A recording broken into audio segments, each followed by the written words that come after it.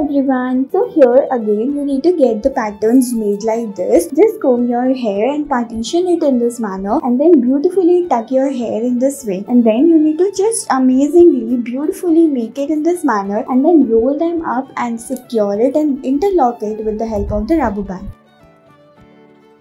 keep on proceeding now here as well you need to just make the braids like this and then take the hair out. And further what you need to do you need to secure it in this manner. Further again just keep on getting these braids out and then you need to interlock it in this pattern. Further what we need to do you need to just get it made like this and secure it with the help of these beautiful clips. Isn't it amazing keep on proceeding now here what we need to do again you need to get your hair just roll it with the help of this roller and make a beautiful small little bun out of it and then you need to just secure it beautifully in this manner and then tuck them up further you need to crisscross it and then beautifully arrange it in the with the help of this manner now here as well you need to just secure your hair and beautifully tuck them in a beautiful pattern like this. I hope you guys have enjoyed. Thank you so much for watching.